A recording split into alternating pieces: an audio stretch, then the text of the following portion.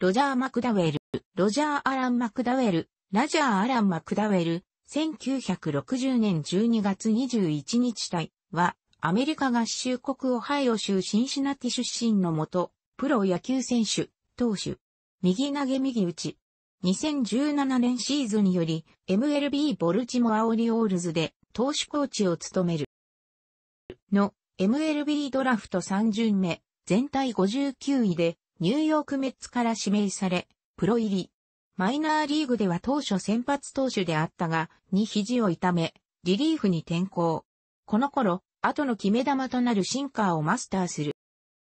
4月11日にメジャーデビューを果たし、当初は中継ぎとして起用されたが、シーズン中には、左腕ジェシー・オロスコとのダブルストッパーに昇格。ルーキーイヤーのこの年は62試合に登板し、127回、1、3を投げて6勝5敗17セーブ、防御率2.83の活躍。新人王は110盗塁のビンス・コールマンが獲得し、他にも20勝したトム・ブラウニングがいたため2位にもなれなかったが、例年ならば選ばれてもおかしくない成績であった。なお、この年2試合に先発しているが、キャリア中先発はこの2試合のみである。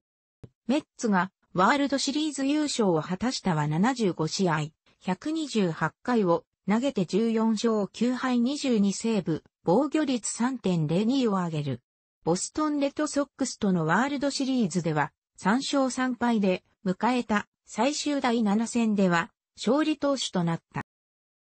は、序盤にヘルニアを患い、防御率4点台と苦しんだが自己最多の25セーブを上げる。しかし、セントルイスカージナルスと地区優勝争いを繰り広げた終盤9月11日の直接対決ではテリー・ペンドルトンに2来本塁打を喫し、地区優勝を逃すこととなった。ワオロスコがロサンゼルスドジャースに移籍し、ランディ・マイヤーズとのツープラトンとなったが、この年メッツは100勝62敗を挙げて、地区優勝。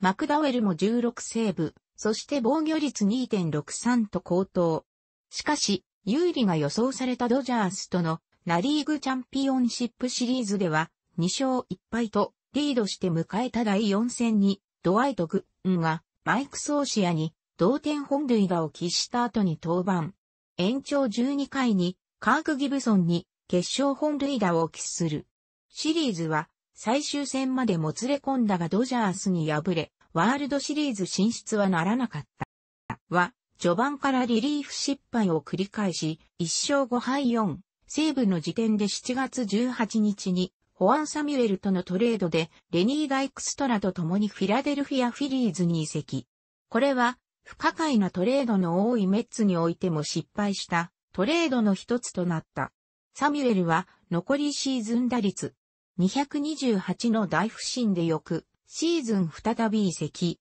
一方、ダイクストラはリーグを代表する一番打者に成長し、マクダウェルも1989年の残りシーズンは44試合の登板で3勝3敗19セーブ、防御率1.11と活躍。よくは22セーブを挙げた。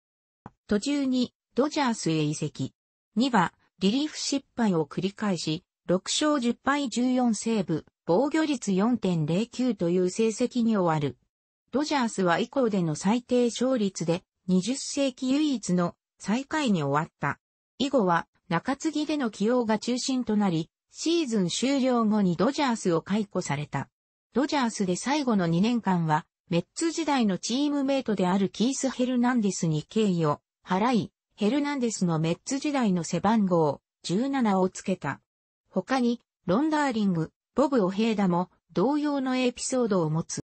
2は、テキサス・レンジャーズに移籍。翌には、ボルチモア・オリオールズに移籍する。ここでは、メッツ時代にダブルストッパーを組んだオロスコと再び、チームメイトとなった。しかし、肩を故障し8月に手術。再び解雇され、は、シカゴホワイトソックスと契約するが、登板できないまま再度の手術を受ける。も、ホワイトソックスのスプリングトレーニングに参加したが、シーズン開幕を前にして、現役を引退した。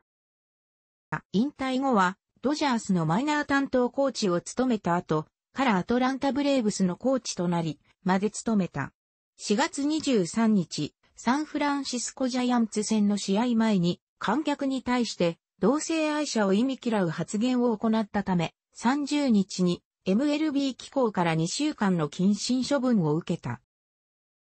2016年11月22日に2017年シーズンにより、オリオールズの投手コーチへの就任が発表された。いたずら好きで、知られ、現役時代に下記のようなエピソードを残している。全米放送の試合中、ベンチでわざと頭の上にパンツをかぶったり、スパイクを頭に乗せたりしていたが、ダグアウトで爆竹に火をつけたりと時として旅を越すことがあった。ケルトとカツラといったユーモラスな紛争で何度か MTV にも登場した。シンシナティレッツの女性オーナーマージショットが選手のイヤリングを禁止したことに抗議して、シンシナティでの試合でショーに登場したマリアッチバンドに多数のイヤリングをつけた姿で混じっていたことがあった。楽しくご覧になりましたら、購読と良いです。クリックしてください。